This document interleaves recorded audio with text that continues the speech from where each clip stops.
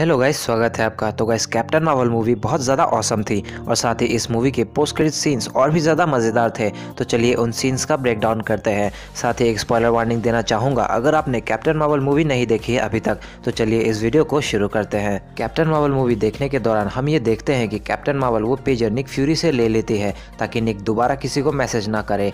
लेकिन फिर बाद में हम ये देखते हैं कि वो निक फ्यूरी को पेजर वापस कर देती है, एक अपग्रेड के साथ, जो अब काफ़ी एडवांस्ड है। यहाँ तक कि वो काफ़ी गैलेक्सीज तक सिग्नल भेज सकता है और इन्फिनिटी वार के एंड में वही सेम पेजर के इस्तेमाल से निक फ्यूरी कैरल को सिग्नल देता है।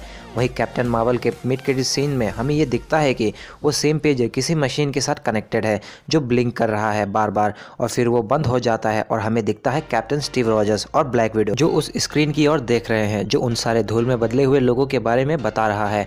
फिर कुछ पीछे वार मशीन रोडी आते दिखता है, जो बोलता है, वो चीज़ बंद हो गई है, जो भी वो चीज़ कर रहा था। तो इससे ये तो क्लियर हो गया है कि जो बचे हुए एवेंजर्स हैं, वो एवेंजर्स हेडक्वार्टर में है और उन्हें कोई आइडिया नहीं है कि ये डिवाइस क्या कर रहा है और ये डिवाइस है क्या। जहाँ Steve Rogers Black Widow James Rhodes तीनों ही कंफ्यूज होकर उस डिवाइस यानी कि पेजर को देख रहे हैं, जहाँ ब्रूस बैनर बोलता है, ये सिग्नल भेज रहा था जो अब रुक गया है। वहीं कैप्टन स्टीव रॉजर्स अब और कंफ्यूज हो गया है कि ये क्यों रुक गया है और बोलता है, किसी बैटरी से तो कनेक्ट नहीं किया है हमने। तब वार मशीन बोलता है हाँ ये है कनेक्ट लेकिन ये बस अब बंद हो गया है। फिर कैप्टन अमेरिका बोलता है रिबूट करो इसे, ताकि दोबारा सिग्नल्स दे, तभी ब्रूस बैनर बोलता है, हमें तो ये भी पता नहीं कि ये है क्या, लेकिन ब्लैक विडो बोलती है फ्यूरी को पता था ये क्या है तो प्लीज़ इसे ऑन करो और बताना मुझे, जब भी कुछ पता चले। मुझे जानना है उस तरफ़ कौन है, क्योंकि ये डिवाइस फ्यूरी का है तो विडो जानती है कि ये कुछ भी हो, बेहतर चीज़ ही होगी कोई, क्योंकि ब्लैक विडो फ्यूरी को काफ़ी अच्छे तरीके से जानती है, यहाँ तक कि काफ़ी मिशन भी साथ किए हैं दोनों ने,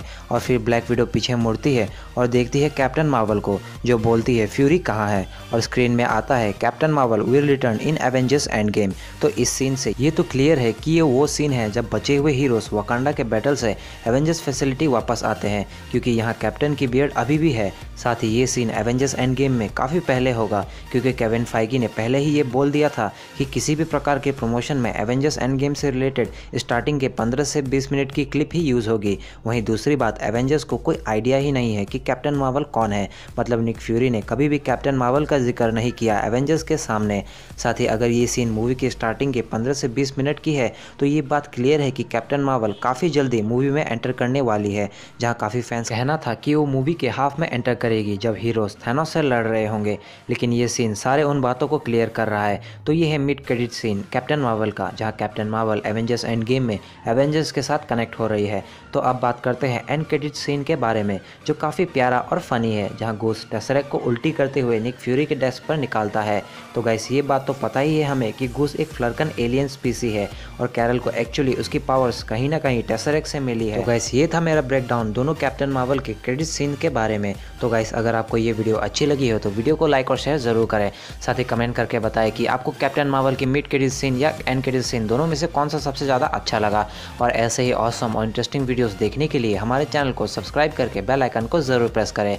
तो गाइस मिलते हैं बहुत जल्द अगली वीडियो में। So guys this is your captain signing off. Take care. Bye bye.